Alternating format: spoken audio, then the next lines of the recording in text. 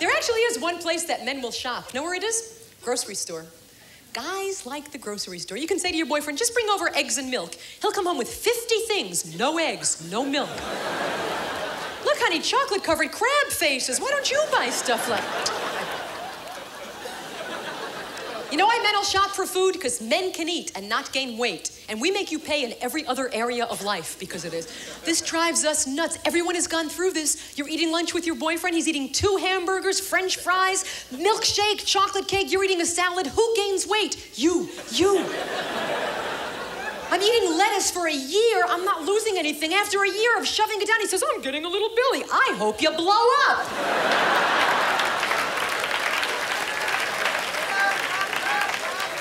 What's the matter? You haven't lettuce for a year?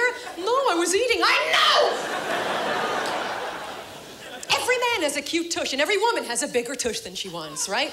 You can a guy could look like Santa Claus from the front. He's got a cute tush when he wants. No woman ever walks away from the bed naked, straight on. You have never seen your woman walking away straight on. You make love, that phone rings, she has to get it. This is how she gets it. I'll get it. She leaves the bed at an angle. Well, uh, time to put these magazines in the living room, isn't it? Women get hungry at night. My boyfriend wakes up in the morning and says, gee, the food's gone. I say, whoa, what else did they get?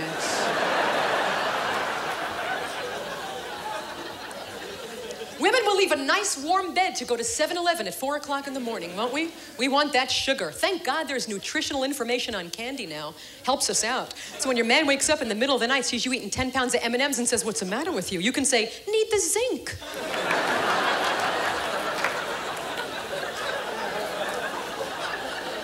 There's no truth in advertising where food is concerned. You ever read the side of a pint of Haagen-Dazs? Know what it says? Serves four.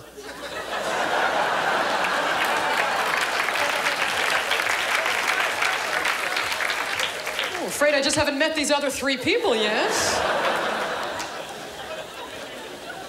Reese's peanut butter cup serves two. Who invents these portions? Mice? Ah, I can't eat two. Better get somebody else. So we want to go to 7-Eleven. We put on a pair of underwear, pair of shoes, nice long coat, get in the car. Everyone there is dressed the same way.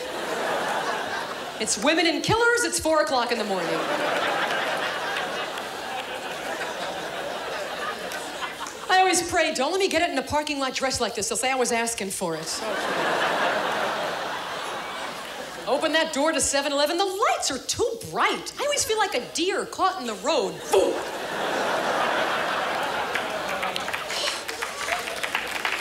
Get some ice cream, some cookies, throw in a couple of light bulbs so you don't look like a homeless junkie here. Always a woman in worse shape than you online. 10 pounds of cookies and an Ex-Lax. Go ahead, go ahead.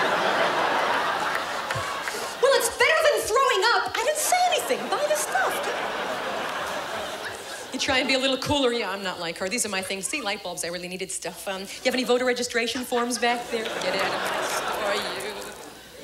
I try and maintain a little dignity. I won't eat the food in the car. I put it in the back seat. I say, look, you have a home. You'll eat when you get home. Fine. I drive five feet. I start hitting trees. Where's the cookies? People who drink and drive are less dangerous than people who eat and drive. I mean, people are drunk. They're trying to drive.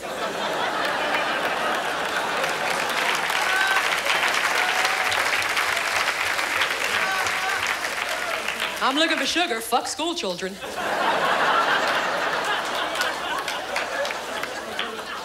You're gonna find my car wrapped around a pole. I'll be dead with my hand in an empty bag of Chips Ahoy.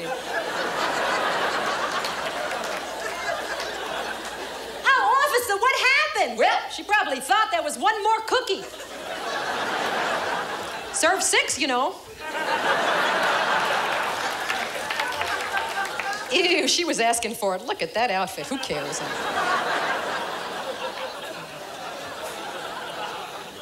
so disappointing when you're eating something wonderful and you think there's one more and there isn't. M&M's is a tough one. Anyway, so I was just gonna tell him to call. What?